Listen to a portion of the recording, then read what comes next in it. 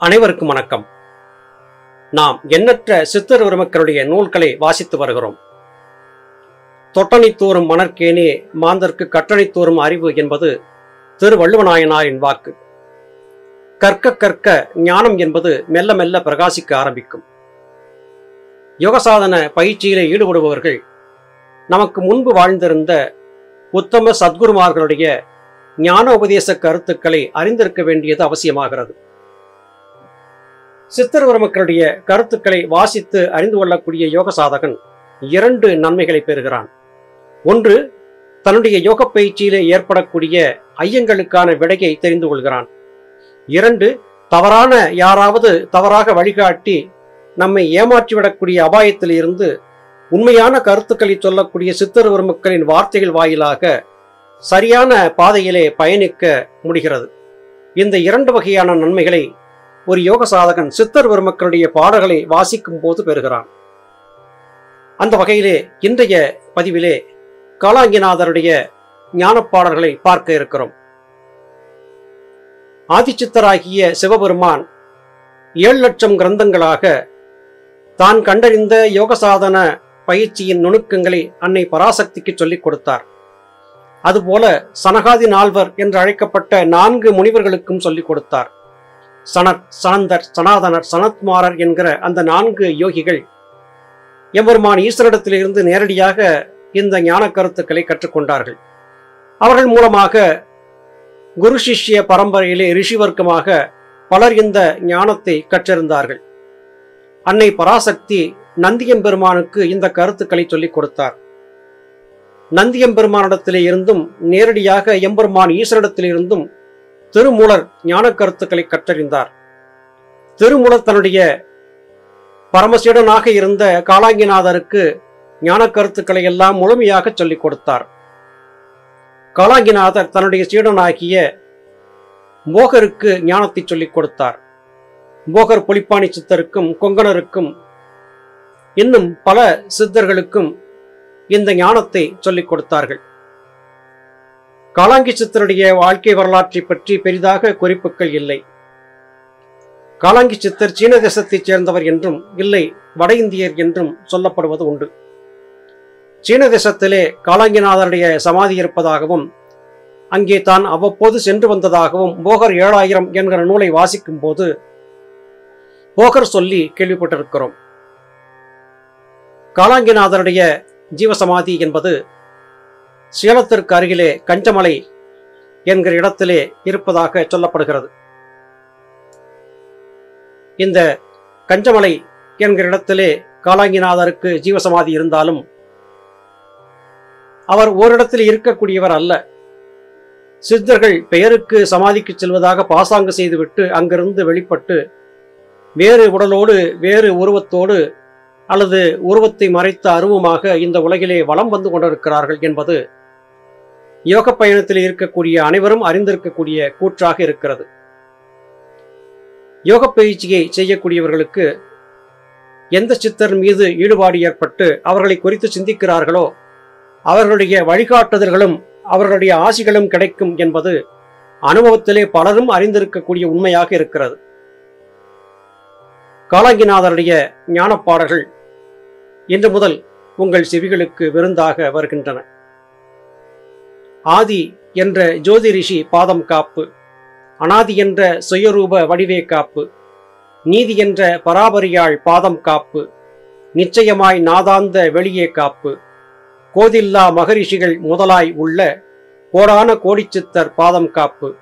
சோதி என்ற பரவெளியை கருத்துள் வைத்து சொல்லுவேன் ஞானமுடன் யோகம்தானே.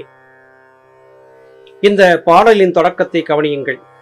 ஆதி என்ற ஜோதி ரிஷி பாதம் காப்பு என்று சொல்லுகிறார். ஆதி ரிஷி ஆதிச்சித்தனாகிய எம்பெருமான் ஈசனுடைய திருவடிகளை வணங்குவதாக சொல்லுகிறார். தற்காலத்தில் இருப்பதைப் போல விநாயகரை வணங்கி இவர் பாடலை தொடங்கவில்லை. அனாதியாக இருந்த சுயரூப வடிவத்தை காப்பாக சொல்லுகிறார். சுயரூப வடிவம் என்பது ஆன்மாவை பற்றியதான விளக்கம். பராபரை என்பது ஜீவசக்தியாகிய வாயு. பராபரம் ஆண் தத்துவம் பராபரை பெண் தத்துவம். இந்த இரண்டு தத்துவங்களும் தன்னை இயக்கிக் கொண்டிருக்கின்றன என்பதை காளாங்கிநாதர் சொல்லுகிறார். நாதாந்த வெளி காப்பு என்று குறிப்பிடுகிறார். நாதம் என்பது ஒளி அதாவது ஓசை. நாதம் முடியக்கூடிய இடம் ஓசையும் நின்றுவிட்ட இடம். அது பரவெளியாகிய ஆகாயம். வெட்டவெளி அந்த வெட்டவெளியிலே இருந்து சகலத்தையும் இயக்கிக் கொண்டிருக்கக்கூடிய பராபரத்தை காப்பாக சொல்லுகிறார். கோதில்லா மகரிஷிகள் குற்றங்கள் இல்லாத மகரிஷிகள். இதை சொல்லும் போது குற்றமுள்ள மகரிஷிகள் இருக்கிறார்களா என்கிற வினா எழும்பக்கூடும். ஞானி என்று சொன்னால் அவருக்குள்ளே சிறிது அஞ்ஞானம் இருக்கத்தான் செய்யும். உலகிற்கு வெளிச்சத்தை தரக்கூடிய ஒரு அகல் விளக்கை ஏற்றி வைக்கிறோம். அகல் விளக்கின் ஜோதி என்பது சுற்றிலும் உள்ள இருளை விரட்டுகிறது. ஆனால் அகல் விளக்கின் கீழே இருள் இருக்கத்தான் செய்கிறது. அகல் விளக்கால் வெளியிலே வெளிச்சத்தை பாய்ச்ச முடிந்தாலும் தனது பாதத்திற்கு கீழே இருக்கக்கூடிய இருளை விரட்ட முடியாது. அதுபோல ஞானி என்று தன்னை சொல்லிக் கொண்டாலும் அங்கே சிறிதளவு அஞ்ஞானம் இருக்கத்தான் செய்யும். அப்படி என்றால் கோதில்லா மகரிஷிகள் என்பவர்கள் யார்? நிறை ஞானிகள்.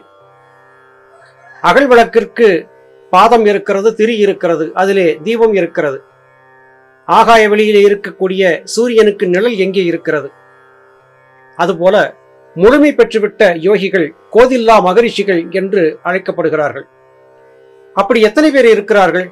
விடை சொல்கிறார் காலாங்கிநாதர் கோடானு கோடிக்கணக்கான சித்தர்கள் அப்படி இருக்கிறார்கள் என்று குறிப்பிடுகிறார். இப்போது நமக்கு ஒரு நம்பிக்கை பிறக்கிறது. நாம் யோக சாதன பயிற்சி செய்து கொண்டிருக்கிறோம்.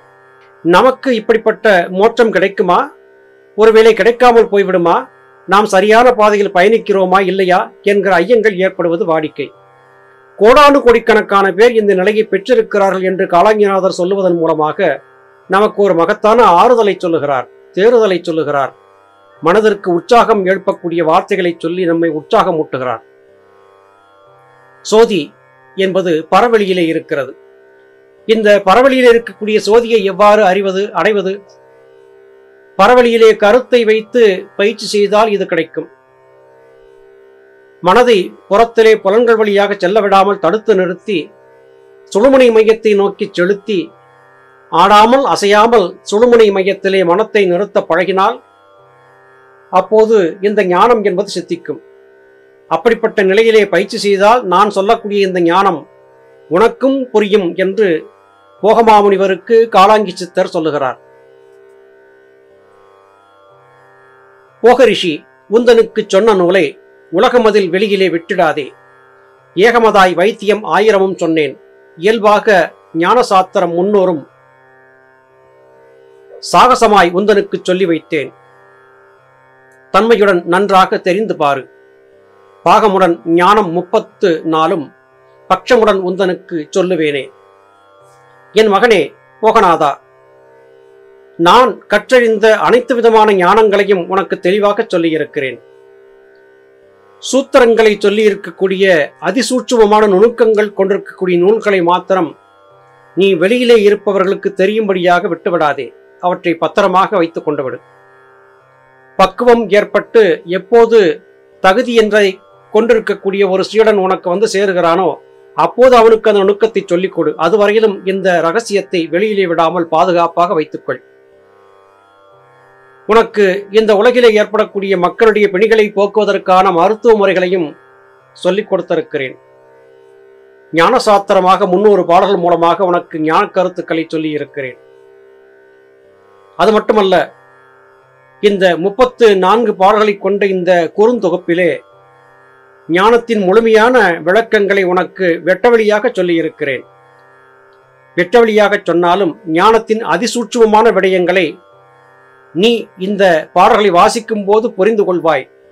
காரணம் நீ உண்மையானவன் நேர்மையானவன் சரியான பாதையிலே பயணித்து யோகம் பயின்று கொண்டிருப்பவன். என எனவே உனக்கு இந்த கருத்துக்கள் துல்லியமாக புரிந்துவிடும். அப்படி புரிந்து கொண்டுவிட்ட இந்த கருத்துக்களை வெளிப்படையாக எல்லோருக்கும் தெரியும்படியாக சொல்லிவிடாதே. காரணம் பக்குவம் இல்லாதவர்களுக்கு இந்த முழு ஞானம் என்பது சென்று சேர்ந்து விட்டால் அது இந்த புவியிலே அனர்த்தங்களை உருவாக்கி விட்டுவிடக்கூடும் தக்கவர் வரும்போது அதை சொன்னால் போதும். அதுவரையிலும் நான் சொல்லி இருக்கக்கூடிய இந்த ரகசியங்களை எல்லாம் மறைப்பாக வைத்துக்கொள். தொடர்ந்து நான் சொல்லக்கூடிய ரகசியங்களை எல்லாம் வாசித்து புரிந்துகொள். யோக பயிற்சியிலே ஈடுபட்டு உண்மை கருத்துக்களை உள்வாங்கி இந்த உலகத்திற்கு நல்லதிச்சை என்று காளாங்கிநாதர் போகமுனிவருக்கு தன்னுடைய நூலின் தொடக்கமாக அறிவுரைகளை சொல்லுகிறார். அருமை சகோதர சகோதரிகளே சித்தர் பெருமக்கள் மேலோட்டமாக சில கருத்துக்களை சொல்லியிருப்பார்கள். அதை ஆழ்ந்து சிந்தித்து அனுபவ ரீதியாக யோக பயிற்சியில இருந்து பார்த்தால் மட்டும்தான் கண்டுபிடிக்க முடியும். வெறும் வார்த்தைகளை பாடல்களாகவோ உரைநடையாகவோ வாசித்து விட்டால் மட்டும் நமக்கு ஞானம் கிடைத்து விடாது. ஞானம் கிடைப்பதற்கு பொறுமை வேண்டும் தீவிரமான பயிற்சி வேண்டும் ஒழுக்கம் வேண்டும். குருமார்களின் கடைக்கண் பார்வை வேண்டும். ஞானிகள் மகான்களுடைய ஆசி வேண்டும். இவையெல்லாம் சாத்தியம் என்றால் காலாங்கிநாதர் முதலாகிய அனைத்து சித்தர்களும் சொல்லக்கூடிய ஞானத்தை பெறுவது சாத்தியப்படும். மீண்டும் அடுத்த பதிவிலே உங்களை சந்திக்கிறேன். அதுவரையிலும் நன்றி வணக்கம்.